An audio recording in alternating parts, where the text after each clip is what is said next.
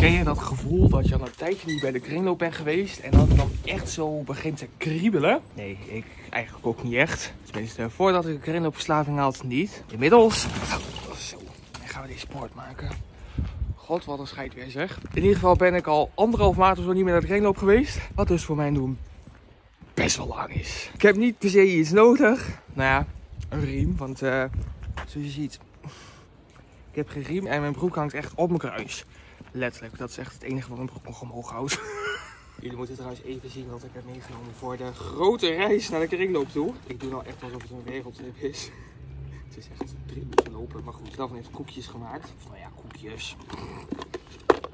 Hoi, is door midden. Nee. Vegan chocoladekoekjes. Deze zijn echt zo fucking chill. Echt fucking huge. Ik moest er gewoon even een meenemen. Ik kom echt net uit de oven. Ik zal het recept wel even in de beschrijving zetten. Tenminste, als het een website is. Het kan ook altijd als kookboek komen, ik weet het niet. Het enige nadeel is dat hele hand van onder de chocolade komen. Maar ze zijn zo lekker. Oh, kijk dan, even één hapje genomen. Maar goed, zelfs daar ben ik op voorbereid. Wie ben ik jongens, wie ben ik? Wat is er met mij gebeurd? Nou, soort van opgelost. Laten we gauw verder gaan, want ik word er niet droog van. Ik sta hier al bij wat Wally voor de deur. Maar ik wilde eigenlijk ook even kijken waar die andere ging lopen. Die zit ietsjes verder terug. Helemaal niet meer aan gedacht. Een van mijn favoriete kringlopen in Almelo is vorige week afgebrand. Echt tot de grond toe. Fucking jammer. Dat was altijd zo'n grote, nette kringloop ook vooral. En dan kom je hier... Ik heb het al eens verteld, maar dit is echt zo'n soortje altijd. Oeh, ik zie trouwens wel mooie glazen. Laat maar. Ik zie dat er een uh, soort logo op staat. Ik vind het altijd wel jammer. Voor de rest zijn ze leuk. Kijk, dit ook. Dit zijn dezelfde glaasjes die wij als wijnglas hebben. Maar dan een soort borrelglaasjes. Dat is leuk. Niet dat wij ooit borrels drinken. Is dat dan leuk om erbij te hebben? Deze is trouwens gerepareerd, zie ik. Zie dat? Blijkbaar zijn dat glazen die snel kapot gaan. Want ik weet niet of je dat debakel nog herinnert van kerstmis. Maar toen had ik dus zes van deze mooie wijnglazen. En toen kwam ik thuis zoals het afgeknapt. Deze zijn mooi. Ja, zoals je wat door hebt, ik heb echt iets met glazen. Deze zijn fucking mooi. Als ze deze wat wijnglazen hadden gehad, had ze sowieso meegenomen. Maar ja, zoals we zei, ik drink nooit borrels.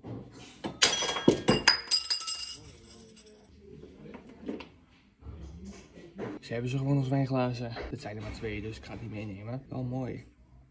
Iedereen hier verlaat me waarschijnlijk nu voor gek. Maar ik vind dit soort kiesgerigheid erg leuk. Ik vind het ook niet per kies. Ik vind het eigenlijk niet meer chic of zo. Hier is het ding. Nou, ik weet niet waar ik zie. De kleding hangt ineens in rekken. En een spiegel. Nou, nou. De vorige keer dat ik hier kwam lag het allemaal op één grote berg. Zo van, nou red je het ermee. Dit begint ergens op te lijken. Ik heb trouwens twee dingen gevonden die ik op zich wel leuk vind. Deze vind ik sowieso wel leuk, maar ik weet niet welke maat het is. Ziet er vrij groot uit. En deze is wel mijn maat, maar daar twijfel ik een beetje over. En je kunt die dus niet passen. De vorige keer dat ik kleding meenam waar ik over twijfelde, was dat echt een enorme miskoop. Want het was echt veel te groot. Dus wat moet ik nou doen? Ik het gewoon even passen. Ik weet ook niet of jullie mij zien of ik in beeld ben. Ik film nog steeds met mijn telefoon. Oh, het stinkt wel zeg. Oh, jezus, het stinkt al. Best wel leuk. Ik weet er niet goed van de kleur vind, maar het staat wel nice. Het stinkt. Oh, jezus. Oké, dit staat echt nergens op. Het is echt veel te groot. Oversized, maar dan niet op de goede manier. Wat kost deze dan? Truien, vesten. 2,50. Daar kan nu wel voor mee. Foto van Jan Smit, altijd leuk. Oké. Hallo. Jezus, wat een afzichtelijk ding. Mijn god. Oké, ik heb die trui toch niet genomen, want de kleur deed me toch een beetje te veel denken aan poep. Ik weet niet of dat helemaal het look is waar ik voor wil gaan. Ik ga nou ook gauw weg uit dit zooitje, want ik wil nog even kijken bij Wally. En die gaan om 5 uur dicht, dus ik heb nog maar drie kwartier daarvoor. Nou, ik geloof het daar wel even eigenlijk.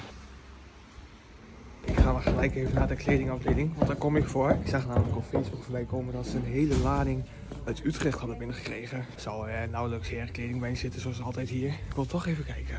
Zoals ik al dacht, is de mannenafdeling wederom erg beperkt. We moeten het hiermee doen met douches en broeken. Nou, ja, misschien zit er nog wel een mooi overhemd tussen. Kijk dan vooral of ik iets van een leuke nou zie of zo. Kijk, hier hangt een mooie Tilburg hoodie. Die wil je. ik heb toch nog twee dingen gevonden die ik even wil passen. Deze trui van G-Star. Ik ben normaal gesproken helemaal niet van die grote logos voorop. Maar ik vond de kleur wel erg leuk, dus ik dacht, nou, We zullen hem even passen. En deze broek. Dit is eigenlijk dezelfde broek als wat ik laatst heb meegenomen. Dus hij lijkt erg op van andere stof. Maar die andere is dus eh, een stuk te kort. En dit lijkt me wel de goede lengte. Ik ook even passen. Ik heb een beetje stress omdat de winkel van uur dicht gaat. Ik had laatst een hele goede tip. Dat je eigenlijk voor de tijd outfit inspiratie moet opslaan. En dat je dan dat gaat zoeken in de kringloop. Heb ik natuurlijk gedaan. Dat is wel een goede tip. Oh nee, dit is te groot. Dit is veel te groot. Denk ik. Kijk, zie je dat? Het is niet, ja, het zou wel kunnen, maar ik vind het niet zo mooi. Zo ziet het iets beter. Nou, ik vind dit nog niet eens heel gek. Ik denk niet dat ik hem meeneem. Hij is ook een beetje, een beetje klein. Maar ik vind het niet gek. Hij zit ook wel lekker trouwens. Oké, ik twijfel wel. Ja, ik twijfel echt wel. Terwijl het eigenlijk helemaal niks van mij is normaal gesproken. Hmm. Smakelijk. Kan ik scheuren? Scheuren. En dan eh, dippen. Toen was dus mijn batterij leeg. Hmm, lekker. Ik heb niks gekocht. Dat kon ook niet, want ik kon dus niet betalen, want ik had alleen mijn telefoon bij me. Ik wilde die trui wat ik had gevonden, wilde ik afrekenen. Ik had nog 1% batterij. En was echt op het moment zo dat ik zo met mijn telefoon bij dat pinpas ding stond, ging die uit. Super. Nou heb ik ze hem voor me achtergelegd, dus ik haal mogen toch wel op. Best wel gek, want zoiets is eigenlijk helemaal niet wat voor mij met van grote logos en zo. En, maar ik vond hem toch wel erg leuk. En voor de 3,50. Maar goed, dus helemaal niks gehaald. Lekker saai. Dit is wel erg lekker trouwens. Dat is zo gesmeerd met zo'n broodje. Ja, Ik weet niet goed dat hoe ik dat moet doen. Ik pak het er wel mee op, maar het wordt altijd dat ik denk, nou wat ik haal. Maar het is inderdaad niet veel. Nou, Ik zal het trapje ook nog even van boven laten zien. Oh, wat ziet dat er smakelijk uit. We nemen nog maar wat yoghurt. Dat doen we echt nooit, hè, yoghurt na het eten. nee, vroeger deden we dat bij mij altijd. Bij mij thuis ook. Bij mij thuis hadden we altijd yoghurt. Maar sinds we samen doen, doen we dat nooit. Hoe zit dat bij jullie? Nemen jullie na het eten een toetje of yoghurt na of wat dan ook? Of niet? Het is nou pure noodzaak, want we hebben nog honger. En er is geen eten meer. Ja, ik weet niet of ik per se honger heb. Ja, ik heb nog wel een beetje hoor. Had dat net gezegd. Nog maar iets meer hoor, eh, yoghurt. Kijk, het dilemma is, er is nog wel wat, want dat is eigenlijk voor morgen. En als we dat nou opmaken, dan komen we dus niet uit met de boodschappen. Kan wel, maar dan moeten we weer naar de supermarkt, geen zin in. Wordt het sowieso afhaal. Ja, dat sowieso. Heel goed dit is. Mm. Nog even een smakelijk verhaal over yoghurt eten, wat dat van nou ineens omhoog haalt. Ik had het echt, echt diep weggestopt. Jij komt daar met je ranja. Ja, vraag toch niet of je dat verhaal wilde vertellen.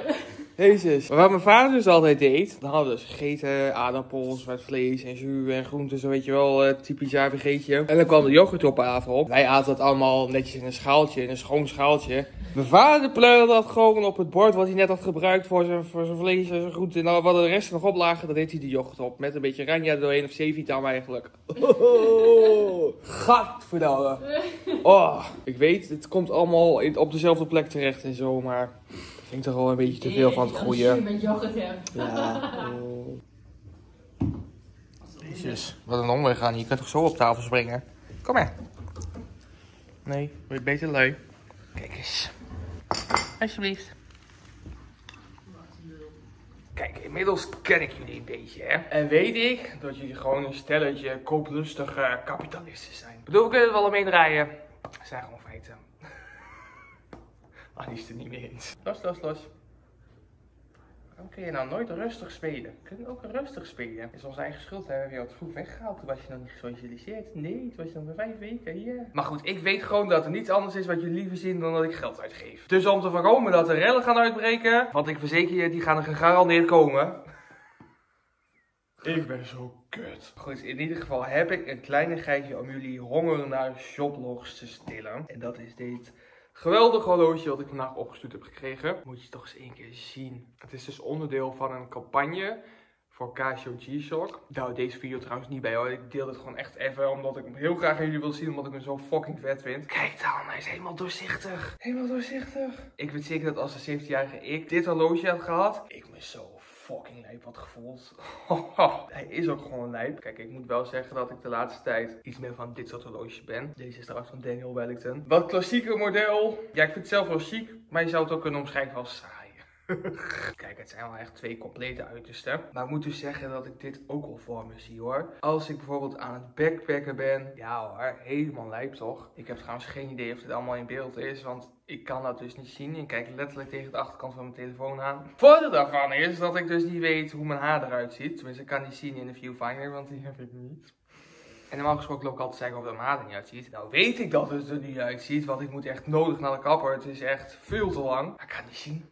Kan niet zien. Ideaal. Dus ik hoop maar dat dit allemaal in beeld is. Dat je het horloge zien. Dit lijkt me dus echt ideaal om te dragen als we aan het backpacken zijn of op vakantie, weet je wel, aan het hiken. Kijk, normaal gesproken draag ik dan deze, maar ja.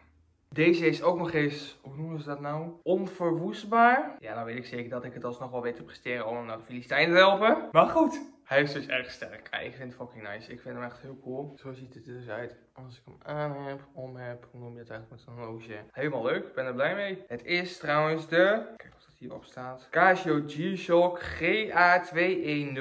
SKE 7AR. 7AER.